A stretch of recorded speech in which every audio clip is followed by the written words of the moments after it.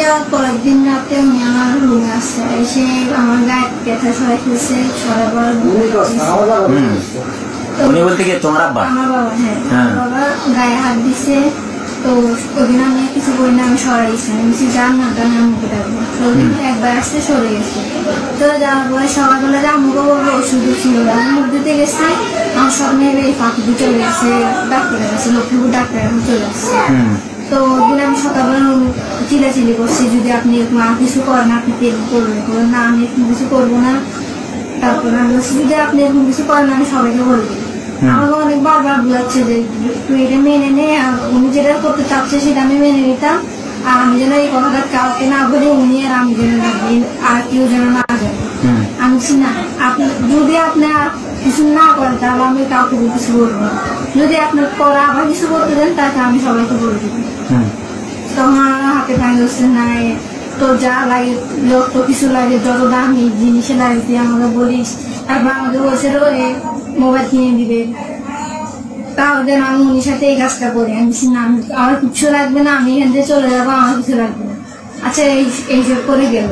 তারপরে শুধু ঘরে রাখতেছে শুধু রুমে রুমে রাখতেছে আমি ঘরে বাইরে বসে আছি উনি রুমে রুমে রাখতেছে তো সন্ধ্যা হলো সন্ধ্যা হওয়ার পরে করে খাই দেই আমরা শুয়েছি শোয়ার পরে উনি আমার আমার বাপে আমার রুমে তিনবার গেছে। কয়টার দিকে গেছে? একটা একটা এরকম পরপর তিনবার গেছে। এক প্রথমবার গেছে প্রথমবার যাওয়ার পর আমার কেটা সরাইছে তখন আমি টের পাই নাই। যখন বুকে হাত দিছে অন্য সবাইকে বুকে হাত দিছে তখন আমি টের তারপরে উনি আবার আমি চিল্লা চিল্লি করতে সরে গেছে।